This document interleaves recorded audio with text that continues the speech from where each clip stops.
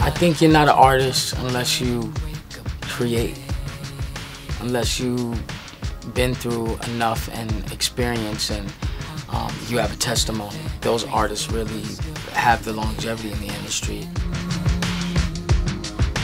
I just want people to feel good again. I want people to feel where my heart was at and give them work that was real from the heart, from experience, from things that I've been through, things that I've seen, from things that I wish that I could have.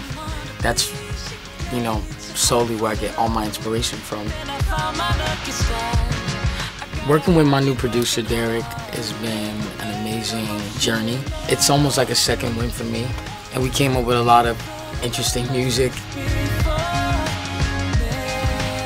Where I'm at now, where I come from, is such a long distance. Like there was a sense of me that was kind of like relentless and to some people maybe even delusional.